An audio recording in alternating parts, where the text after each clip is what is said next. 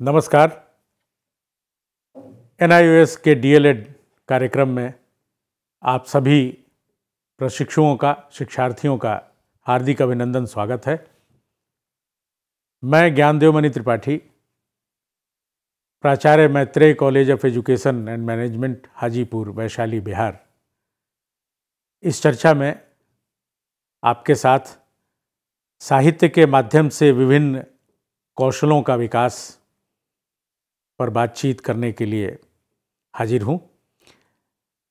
साहित्य के माध्यम से विभिन्न कौशलों का विकास जो हमारे पाठ्यक्रम 503 का ब्लॉक तीन और इकाई एक है, इस पर चर्चा के लिए आज हमारे साथ विशेषज्ञ के रूप में उपस्थित हैं। महात्मा गांधी काशी विद्यापीठ के हिंदी एवं आधुनिक भारतीय भाषा विभाग में प्रोफेसर के पद पर कार्यरत भाषाविद प्रोफेसर निरंजन सहाय जी आप सब की ओर से निरंजन सहाय जी का स्वागत है अभिनंदन है। निरंजन जी आज हम अपने प्रशिक्षुओं के साथ साहित्य के माध्यम से विभिन्न कौशलों के विकास विषय पर बातचीत करेंगे आपके साथ। अब तक हमने भाषा के विभिन्न कौशलों के विकास की बात की है। जिसे सुनना, बोलना, पढ़ना और लिखना है, इसको विस्तार से समझने की पिछली चर्चाओं में कोशिश की गई है। भाषा और साहित्य जो किसी भी भाषा शिक्षण के दो विविध रूप हैं एक तरह से, हालाँकि दोनों में में उन्होंने आश्रय संबंध है। लेकिन इन चार कौशलों के अलावा भी कुछ और भी कौशल हैं जो भाषा और साहित्य को जानने, समझने के लिए आवश्यक हैं। आज की चर्चा हम इस पर केंद्रित करेंगे लेकिन इसके पहले पहला सवाल आपसे ये है कि क्या साहित्य केवल शब्द और अर्थ का चमत्कार भर है? निरंजन जी। ज्ञानदेव जी बहुत ही बेहतरीन सवाल आपने पूछा है। आमतौर पर जो पढ़ने पढ़ाने की दुनिया है जी जी। जो साहित्य पढ़ने पढ़ाने वाले लोग हैं उनमें एक बहुत बड़ा तबका है। जो यह मानता है कि साहित्य शब्द और अर्थ का चमत्कार भर है। जी जी। लेकिन नहीं साहित्य इससे इतर भी बहुत कुछ है जिस पर बातचीत होनी चाहिए बार बार बातचीत होनी चाहिए। बातचीत चलती रहनी चाहिए। इससे इस बात में भी सहायता मिलती है कि जो कोई साहित्यकार है या साहित्य की दुनिया से जुड़ा है क्या उसकी कोई सामाजिक सांस्कृतिक ऐतिहासिक और राजनीतिक भूमिका होती है? बिल्कुल। यदि हम केवल ऐसा समझें कि साहित्य शब्द और अर्थ का चमत्कार भर है तो उससे बहुत सारी दिक्कतें पैदा हो सकती हैं। छठी शताब्दी के सुप्रसिद्ध काव्य शास्त्री भामा ने एक बहुत ही बेहतरीन किताब लिखी थी काव्यालंकार। जी। इसमें उन्होंने बताया शब्दार्थो सहितो काव्यम। अर्थात शब्द और अर्थ का सहित भाव काव्य है। पुराने जमाने में काव्य साहित्य का समानार्थी शब्द था। यहाँ शब्द और अर्थ में स्पर्धा भाव से जिस सौंदर्य के सृजन की बात की गई है उसी से साहित्य की परिधि का निर्माण होता है। अब आते हैं उस सवाल पर जहाँ से आपने शुरुआत की थी कि सवाल है कि क्या साहित्य केवल शब्द और अर्थ का चमत्कार भर है? ज़ाहिर सी बात है समय के साथ साथ साहित्य शब्द का भी अर्थ विस्तार हुआ। उन सब का अध्ययन एक लंबा प्रसंग हो जाएगा। फ़िलहाल प्रेमचंद ने इस संदर्भ में हमारा ध्यान आकर्षित करते हुए जो कहा था उस पर एक नज़र डाल लेना मुनासिब होगा हम्म। उन्होंने एक बहुत महत्वपूर्ण निबंध लिखा था साहित्य का उद्देश्य उसमें उन्होंने कहा मेरा अभिप्राय यह नहीं है कि जो कुछ लिख दिया जाए वह सब का सब साहित्य है हम्म। साहित्य उसी रचना को कहेंगे जिसमें कोई सच्चाई प्रकट की गई हो जिसकी भाषा प्रौढ़ परिमार्जित और सुंदर हो और जिसमें दिल और दिमाग पर असर डालने का गुण हो और साहित्य में यह गुण पूर्ण रूप में उसी अवस्था में उत्पन्न होता है जब उसमें जीवन की सच्चाइयाँ और अनुभूतियाँ व्यक्त की गई हों हम्म। प्रेमचंद आगे कहते हैं तिलस्माती कहानियाँ भूत प्रेत की कथाओं और प्रेम वियोग के आख्यानों से किसी ज़माने में हम भले ही प्रभावित हुए हों पर अब उनसे हमारे लिए बहुत कम दिलचस्पी है इसमें संदेह नहीं कि मानव प्रकृति का मर्मज्ञ साहित्यकार राजकुमारों की प्रेम गाथाओं और तिलस्माती कहानियों में भी जीवन की सच्चाइयाँ वर्णन कर सकता है और सौंदर्य की सृष्टि कर सकता है। परंतु इससे भी सत्य की ही पुष्टि होती है कि साहित्य में प्रभाव उत्पन्न करने के लिए यह आवश्यक है कि वह जीवन की सच्चाइयों का दर्पण हो। फिर आप उसे जिस चौखटे में चाहें लगा सकते हैं। चिड़े की कहानी और गुलो बाबुल की दास्तान गुलो बुलबुल की दास्तान भी आ, उसके लिए उपयुक्त हो सकती है। साहित्य की बहुत सी परिभाषाएँ की गई हैं पर मेरे विचार से उसकी सर्वोत्तम परिभाषा जीवन की आलोचना है। प्रेमचंद कह रहे हैं कि साहित्य जीवन की आलोचना है। चाहे वह निबंध के रूप में हो चाहे कहानियों के या काव्य के उसे हमारे जीवन की आलोचना और व्याख्या करनी चाहिए। प्रेमचंद आगे बताते हैं, हमारी साहित्यिक रुचि बड़ी तेज़ी से बदल रही है। अब साहित्य केवल मन बहलाव की चीज़ नहीं है, मनोरंजन के सिवा उसका और कुछ उद्देश्य है। अब वह केवल नायक नायिका के संयोग वियोग की कहानी नहीं सुनाता। जीवन की समस्याओं पर भी विचार करता है और उन्हें हल करता है। अब वह स्फूर्ति या प्रेरणा के लिए अद्भुत आश्चर्यजनक घटनाएँ नहीं ढूंढता है और न अनुप्रास का अन्वेषण करता है। किंतु उसे उन प्रश्नों में दिलचस्पी है जिनमें समाज या व्यक्ति जिनसे प्रभावित होते हैं। उसकी उत्कृष्टता की वर्तमान कसौटी अनुभूति की वह तीव्रता है जिसे वह अपने भावों और विचारों में गति पैदा करता है। आप ध्यान दीजिए कि प्रेमचंद बता रहे हैं जी। कि किस तरह से आप मैंने अपनी चर्चा में पहले भामा का उल्लेख किया और आपसे चर्चा के क्रम में यह बात उभर कर सामने आई कि भामा मानते हैं कि शब्द और अर्थ में होड़ा होड़ी होती है स्पर्धा हम्म। भाव होता है हम्म। साहित्य आता है हम्म।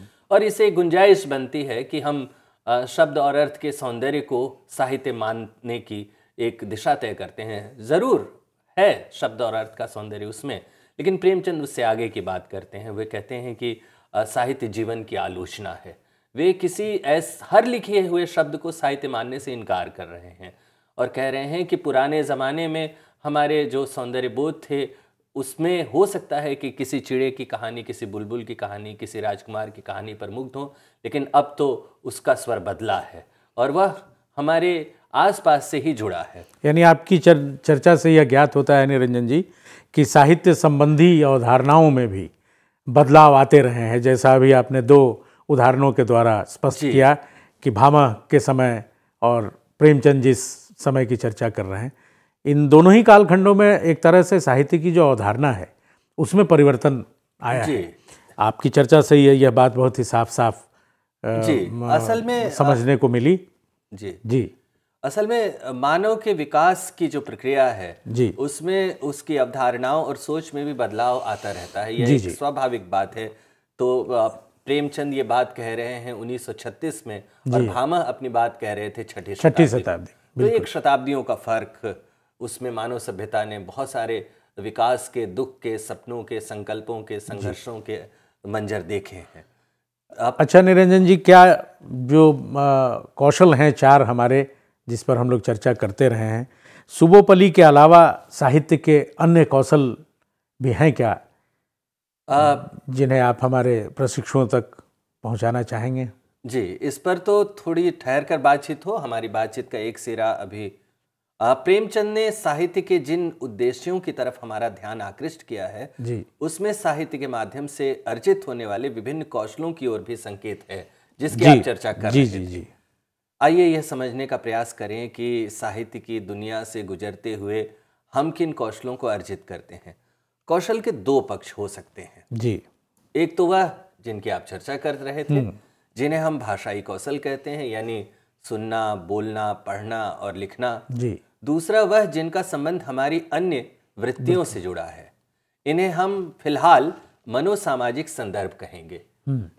यानी सुनना बोलना पढ़ना लिखना के अलावा हम्म। जो बातें हम लोग करने जा रहे हैं जी जी उसे किसी पदबंध से समझने की कोशिश करें हम लोग तो उसे मनोसामाजिक संदर्भ कह सकते हैं सुनना बोलना पढ़ना कौशल के अलावा कुछ मनोसामाजिक संदर्भ भी होंगे हम्म। जो साहित्य की दुनिया से गुजरते हुए हम अर्जित करते होंगे तो उस पर हम लोग बातचीत करें।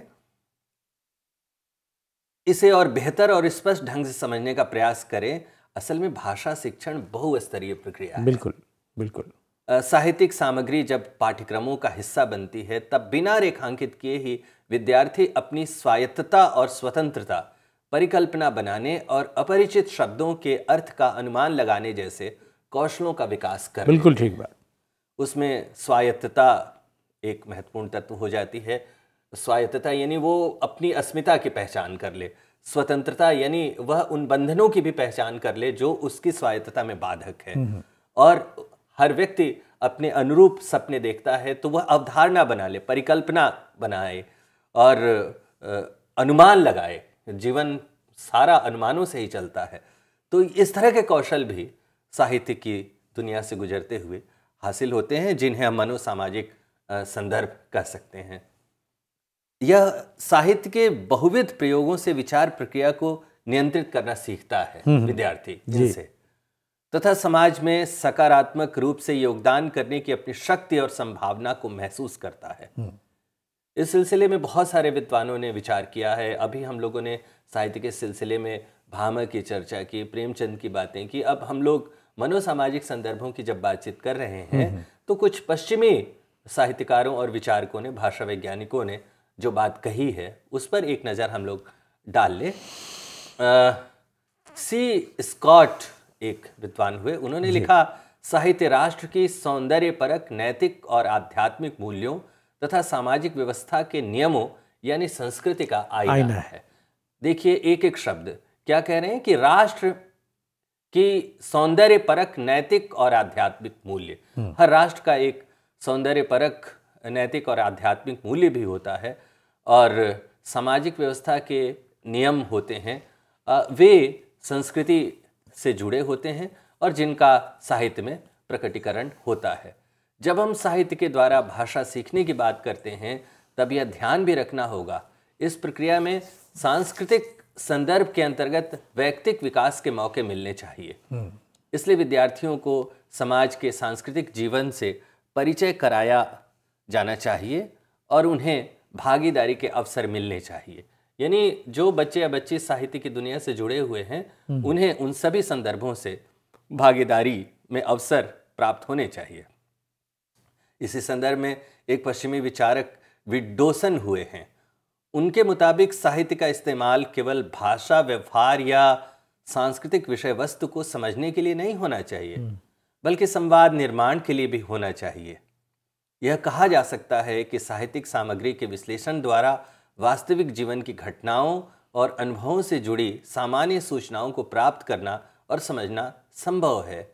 इससे वैयक्तिक और सामाजिक विकास को महसूस करने में हमें मदद मिलती है। साथ ही अपने संवेगात्मक लक्षणों के अनुसार यह सांस्कृतिक और शैक्षिक दृष्टि से पाठकों को उन्नति का अवसर प्रदान करती है। जी। इससे मातृभाषा के व्यवधान दूर होते हैं विद्यार्थियों में विश्लेषण करने समीक्षा करने का कौशल विकसित होता है।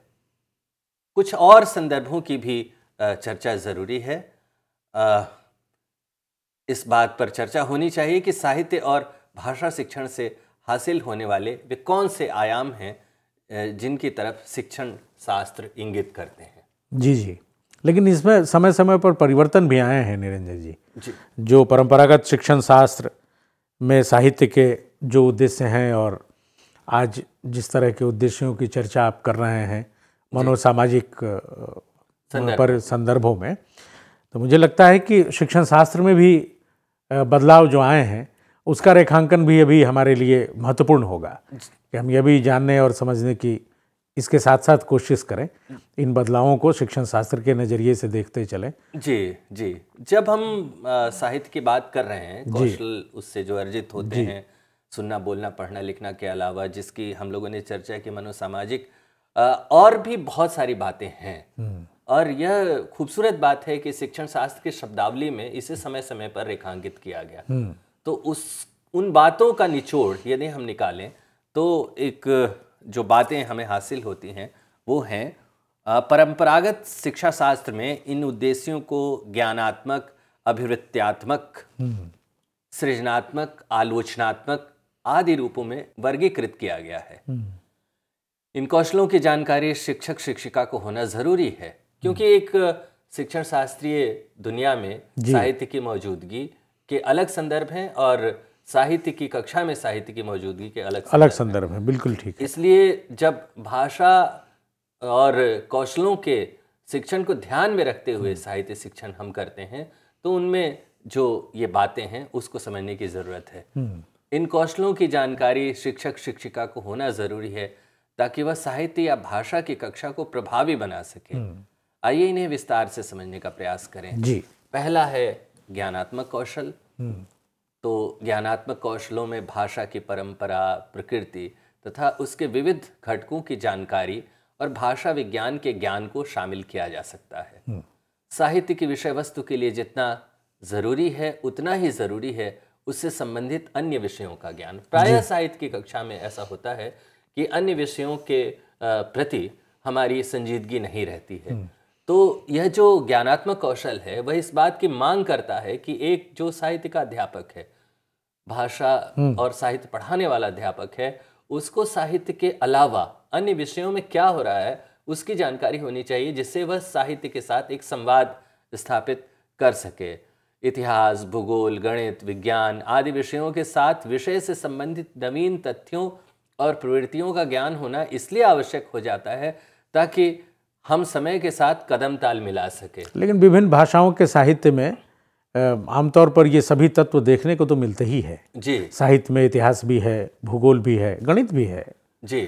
शमशेर बहादुर सिंह जैसे लोग उसका भी बहुत सटीक उपयोग करते हैं अपनी कविताओं में भी।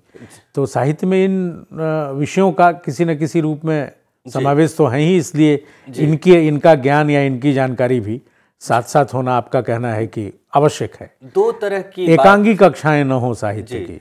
ज्ञानात्मक कौशल के अंतर्गत अध्यापक अध्यापिका से यह उम्मीद की जाती है हम्म, हम्म, हम्म। कि वह साहित्य की दुनिया में आने वाली सभी बातों से परिचित हो।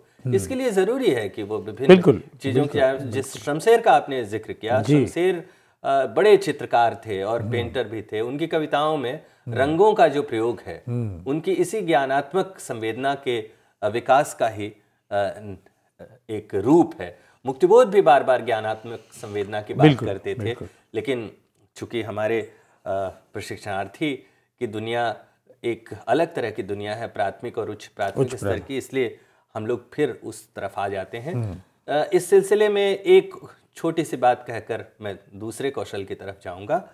प्रेमचंद के जिस निबंध की हम लोग चर्चा कर रहे थे असल में वो एक उद्बोधन था। 1936 में उन्होंने लखनऊ के पहले प्रगतिशील लेखक संघ के अधिवेशन की अध्यक्षता करते हुए अपनी बात रखी थी। उन्होंने उसमें एक बात भी कही। उन्होंने कहा कि हम दुनिया भर के साहित्य को पढ़ते हैं तो हमें पता चलता है कि दुनिया भर के साहित्य में मनोविज्ञान की बात है, समाजशास्त्र की बात है, इतिहास की बात है। प्रेमचंद इतना कहकर रुक नहीं जाते हैं। वे कहते हैं कि लेकिन जब हम अपने देश के साहित्य को पढ़ते हैं, तब हमें तकलीफ़ होती है कि हमारे यहाँ साहित्य को अन्य विधाओं से या ज्ञान के अन्य अनुशासनों से जोड़ने की जो स्थिति है वह सुखद नहीं है। हाँ, मतलब आधुनिक ज्ञान विज्ञान की जो दुनिया यह मांग कर रहे हैं कि आधुनिक ज्ञान विज्ञान की जो दुनिया है उससे उससे साहित्य को जोड़कर रखा जाए। जाए। प्रेमचंद अपने समय और संदर्भ की बात कर रहे हैं। जी जी। वो तो, मतलब यह भी ध्यान में रखना चाहिए कि प्रेमचंद प्राचीन साहित्य को ध्यान में रखकर ये टिप्पणी शायद नहीं कर रहे हैं। जी। प्रेमचंद प्रेमचंद अपने समय यानी जो औपनिवेशिक काल है भारत का उसको ध्यान में रखते हुए और यह जो जिस समय की आप बात कर रहे हैं छत्तीस की हाँ, वो आज़ादी का एक दौर था। एक दौर है जिसमें ये कसमसाहट भी है कि हम अपनी चीज़ों को इस तरह से तरासें तलाशें जहाँ हमारा स्व दिखाई देता हो। बिल्कुल ठीक बात। तो वो उम्मीद करते हैं कि हमारे आसपास जो ज्ञान के अन्य अनुशासन है उससे साहित्य का रिश्ता बने। हम्म। दूसरा कौशल है अभिवृत्त्यात्मक कौशल। अभिवृत्त्यात्मक उद्देश्यों की बात करें तो भाषा शिक्षण के माध्यम से शिक्षक विद्यार्थियों के मन में रचनात्मक साहित्य के प्रति रुचि जगाने में अहम भूमिका निभा सकता है आमतौर पर अधिकांश विद्यार्थी पाठ्य पुस्तकों में संकलित रचनाओं को पढ़कर ही साहित्य जगत में प्रवेश करते हैं हम्म। कक्षा में कहानियों कविताओं और अन्य साहित्यिक रचनाओं को सरस तरीके से पढ़ाकर भाषा शिक्षक विद्यार्थियों को सहृदय पाठक बना देता है हम्म। ऐसे विद्यार्थी पाठ्यक्रम से इतर रचनात्मक साहित्य को पढ़ने के लिए तथा साहित्यिक गतिविधियों में भागीदारी के लिए भी बेताब रहते हैं। अपने मन की बातों अर्थात स्वाधीन चेतना के अभिव्यक्ति भी साहित्य शिक्षण से अर्जित होने वाले कौशलों में शामिल है। एक तीसरा कौशल भी है, जिसे सृजनात्मक कौशल कहते हैं। सृजनात्मक कौशल भाषा शिक्षण का महत्वपूर्ण आयाम है। साहित्यिक अभिरुचि वाले विद्यार्थियों के लिए शिक्षक शिक्षिका का प्रोत्साहन खाद पानी का काम करता है। आप हतोत्साहित नहीं करें किसी विद्यार्थी को।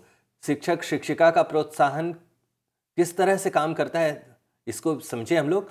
काव्यशास्त्रीय शब्दावली का व्यवहार करें तो व्युत्पत्ति और अभ्यास में इस प्रोत्साहन की भूमिका होती है। हम्म। तीन बात की गई है कि एक जो काव्य साधक है उसमें तीन बातें होनी चाहिए। और उसे प्रतिभा व्युत्पत्ति और अभ्यास कहते हैं।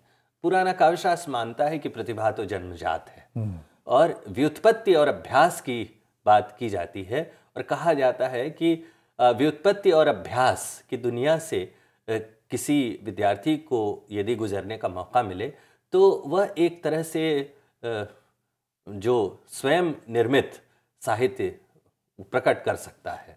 तो यह ध्यान रखने की बात है कि व्युत्पत्ति और अभ्यास के मौके प्रोत्साहन के मौके शिक्षक उपलब्ध करा सकता है शिक्षिका उपलब्ध करा सकती है।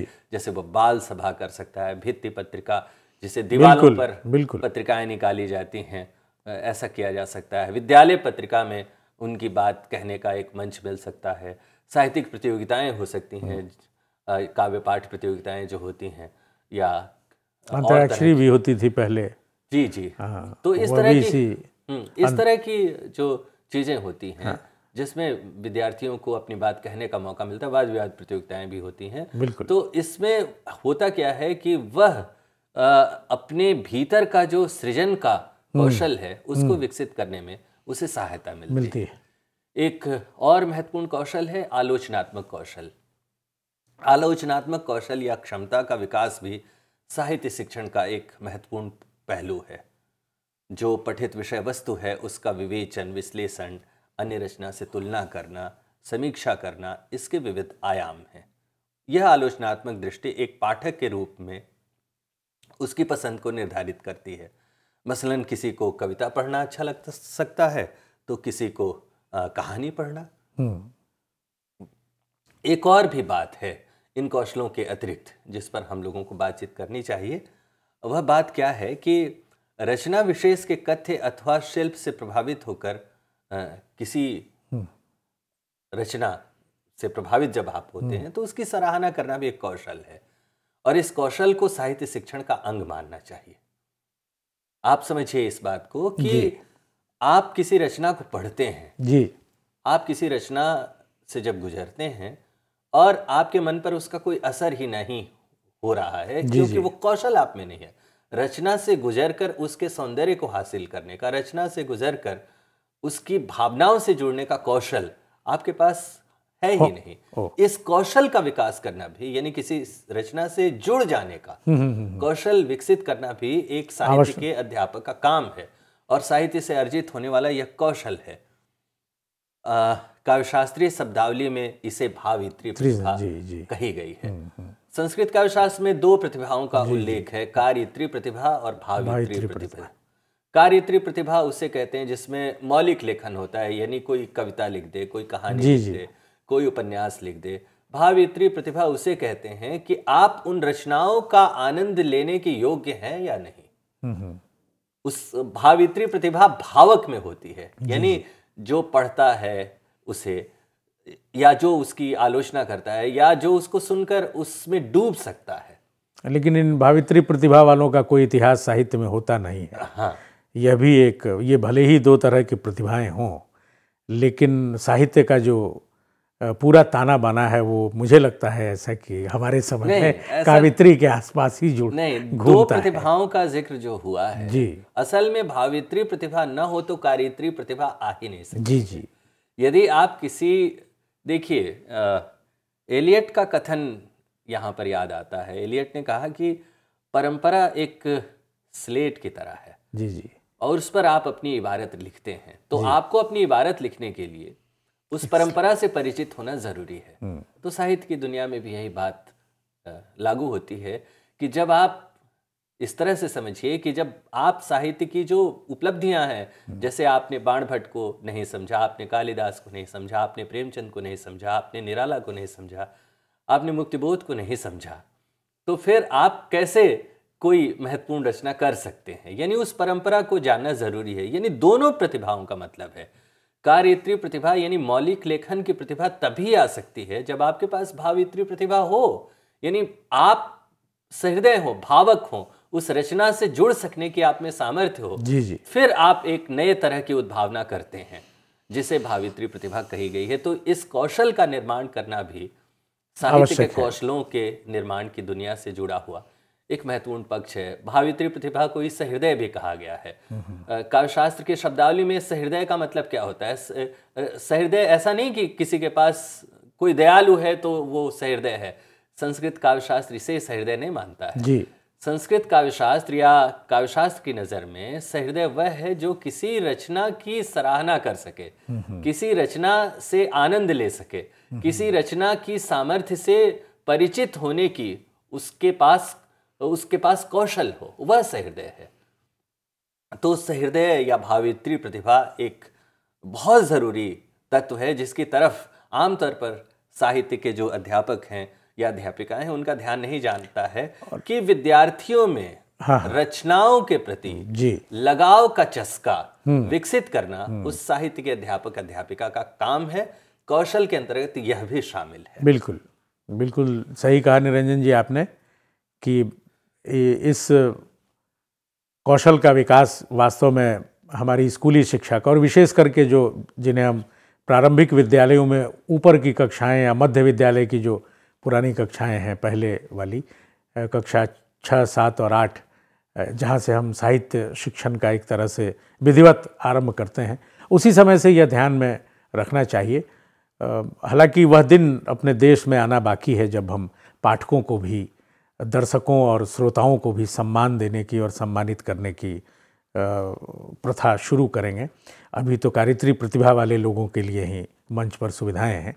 लेकिन यदि इस कौशल का विकास हम स्कूलों में करते हैं और ये मानते हैं कि यह कौशल भी उतना ही महत्वपूर्ण है और एक मौलिक लेखन के लिए भी पहले आपको यहाँ से गुजरना है तो यह शिक्षकों के लिए भी उपयोगी होगा और हमारे सभी शिक्षक जो स्वयं पाठक हैं और ज़्यादातर उसमें भावित्री प्रतिभा के ही धनी हैं तो इन दोनों प्रतिभाओं का मिलान कर यदि इस कौशल को विकसित करते हैं तो मुझे लगता है कि वह ज़्यादा स्थायी और प्रभावकारी भी होगा और फिर साहित्य पढ़ने का जो आनंद है वो वास्तव में हमारे विद्यार्थियों को मिल सकेगा। इस कौशल के विकसित होने से यह लाभ होता है कि जो पाठ्यक्रम में शामिल किताबें हैं हम्म। उसके अलावा अन्य रचनाओं की भी और आप आगे बढ़ते हैं। वो हम्म। चस्का यदि आपको लग जाता है बिल्कुल। तो आप उस तरफ़ आगे बढ़ते हैं। और नज़रिए से साहित्य से अर्जित होने वाले कौशल पर हम विचार कर सकते हैं। वह भारत जैसे बहुभाषिक परिदृश्य में अनुवाद की मौजूदगी का। इसे और बेहतर तरीके से समझने का प्रयास करें प्राय हमारे विद्यालयों में त्रिभाषा सूत्र पर अमल किया जाता है। एक हिंदी प्रदेश राजस्थान का उदाहरण ले। राजस्थान का विद्यार्थी अपनी मातृभाषा के अलावा हिंदी और अंग्रेज़ी तो सीखता ही है। तृतीय भाषा के रूप में संस्कृत पंजाबी उर्दू गुजराती या सिंधी में से किसी एक भाषा को अध्ययन हेतु चुनता है। कहना न होगा, बच्चा या बच्ची अपनी मातृभाषा में सोचता है या सोचती है। वह ज़रूरत के मुताबिक उसे अपनी भाषा में अव्यक्त भी करता है। यह तथ्य हमें अनुवाद के महत्व से रूबरू कराता है। विदेशी और भारतीय भाषाओं की समृद्ध थाती से परिचित होने के लिए अनुवाद का सहारा लेना पड़ता है। दो अलग अलग भाषाओं के बीच अनुवाद सेतु का काम करता है। सांस्कृतिक संवाद और समन्वय के लिए भी अनुवाद की बड़ी उपाय देता है। इस लिहाज से अनुवाद के कौशल को अर्जित करना भी बिल्कुल। साहित्य से अर्जित होने वाले कौशल के एक महत्वपूर्ण पक्ष के रूप में हम लोग याद कर सकते हैं। और उसकी परिधि में उसको शामिल कर सकते हैं। हाँ पाठ्य पुस्तकों के रूप में शामिल साहित्य की किताबें विद्यार्थियों की अच्छी मित्र होती हैं। इनके माध्यम से विद्यार्थी भाषा के संसार से परिचित होता है वह इनके माध्यम से उस कौशल को अर्जित करता है जिसके बल पर वह विभिन्न विषयों पर अपने मंतव्य निर्मित करता है विचारों को व्यक्त करता है इस प्रक्रिया में विद्यार्थी तुलना समीक्षा समेकन की सामर्थ्य अर्जित करता है। प्रकारांतर से इस कौशल को प्राप्त करने में भी साहित्य शिक्षण की महती भूमिका है। इस पर भी ध्यान रखने की ज़रूरत है जो बहुभाषिकता की अवधारणा है। एक से अधिक भाषाएँ त्रिभाषा सूत्र की जो अवधारणा है उसमें अनुवाद के कौशल की ओर ले जाने का काम भी साहित्य से अर्जित कौशल का एक उद्देश्य है। बहुत बहुत धन्यवाद निरंजन जी आपका।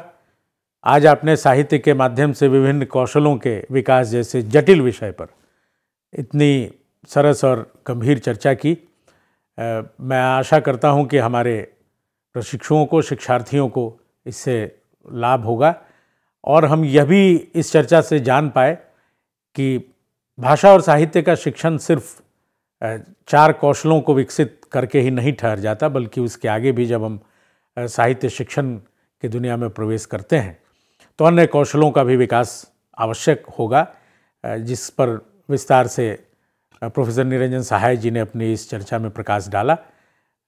आपका बहुत बहुत आभार निरंजन जी हम सब की ओर से और आप सभी दर्शकों का अपने डीएलएड के प्रशिक्षुओं का आभार धन्यवाद। और यह आग्रह और आशा भी कि आप अपने स्वाध्याय सामग्री से गुजरते हुए इस चर्चा से सीखी गई या समझी गई बातों को आत्मसात करेंगे। आप सबका बहुत बहुत धन्यवाद। नमस्कार।